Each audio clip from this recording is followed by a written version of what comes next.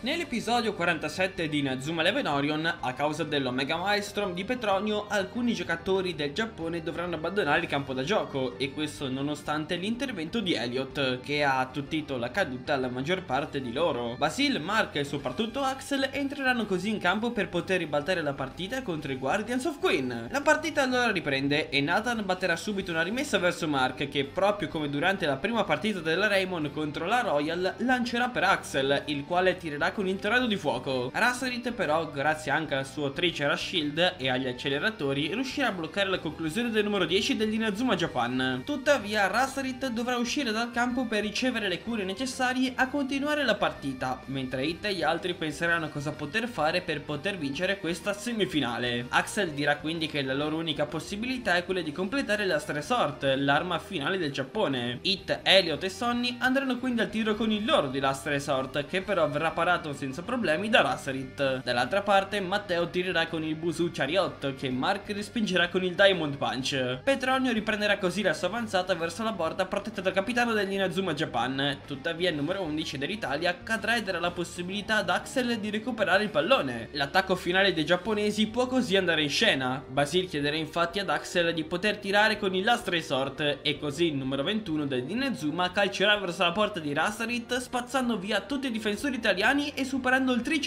Shield. Tuttavia Petronio, spingendosi al massimo, respingerà il tiro di Basil con il suo Last Resort Dragon, che impetuoso si dirigerà verso la porta di Mark. Sonny e Elliot penseranno così di respingere a loro volta il tiro, ma il numero 11 finirà per cedere e costringerà Basil a contenere il tiro del capitano italiano, fino a quando, dopo aver scoperto il punto debole del Last Resort, Ikaru proporrà di completare la tecnica tirando in 4. Ita alzerà così il pallone, Ikaru compierà la rotazione, mentre Sonny e Elliot calceranno un potentissimo Last Resort Sigma che si dividerà in quattro dragoni che finiranno per stendere tutti i Guardians of Queen, insaccandosi anche il rete travolgendo Petronio. I ragazzi dell'Italia non sono più in grado di continuare la partita, l'Inazuma Japan accede così in finale. Tuttavia una misteriosa ragazza dirà che è impossibile battere Orion e se ne andrà dallo stadio. Mentre starà tornando negli spogliatoi però Sonny si imbatterà in Shinjo che si congratulerà con lui per aver raggiunto la finale dell'FFI. Sonny dirà però che avrebbe voluto giocare giocare una partita corretta e per questo l'assistente di Bernard dirà che il calcio non scomparirà mai e che se ne avrà bisogno sarà sempre lì con lui. Le parole pronunciate da Shinjo sono le stesse che disse la defunta madre del ragazzo, il quale si chiederà se l'uomo che ha di fronte sia per caso suo padre. Dall'altra parte però anche la seconda semifinale del torneo è giunta al termine ed è stata la Russia a vincere e questo sotto la guida di Froi. Tuttavia al centro d'allenamento giapponese il Mister E dirà di aver chiamato una persona che gli aiuterà a vincere, ovvero ovvero Ray Dark.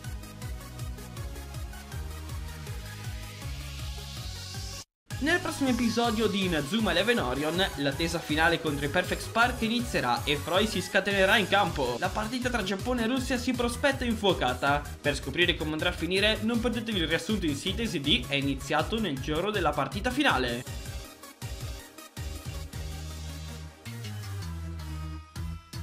Oh mio dio! Cosa non è stato il Last Resort Sigma. Diciamocelo, tutti ci aspettavamo che Ikaru si sarebbe unito nella realizzazione di questa tecnica e alla fine è stato effettivamente così. Tuttavia non scordiamoci che anche Petronio ha mostrato un nuovo Last Resort, ovvero la versione Dragon, con la quale è riuscito a rispedire al mittente il tiro di Basil. Il ritorno di Axel è stato molto tranquillo, proprio come me l'aspettavo. Il bomber di fuoco non ha esagerato, anzi possiamo dire che oltre ad aver tirato con il tornado di fuoco ha semplicemente guidato l'azione che ha portato l'Inazuma a trionfare in questa semifinale. Nel complesso è stato un buon episodio, anche perché ha introdotto un nuovo personaggio che potrebbe essere chiaramente la sorella di Froy e Bernard, ed ha anche messo in chiaro il fatto che Shinjo potrebbe essere a tutti gli effetti il vero padre di Sonny. Ora non ci resta da fare altro che aspettare la prossima settimana per vedere la prima fase di questa finale, che a quanto pare sarà l'insegna del calcio pulito. Detto questo, come al solito vi invito a lasciare un mi piace per supportare il canale, a iscrivervi se ancora non l'avete fatto e a condividere condividere il riassunto con i vostri amici. Come al solito poi ringrazio Peppe per avermi aiutato nella realizzazione di questo riassunto e vi informo che su Inazuma Corner è già uscita la reazione all'episodio in questione. Quindi qui da Diego per oggi è davvero tutto e giochiamo a calcio!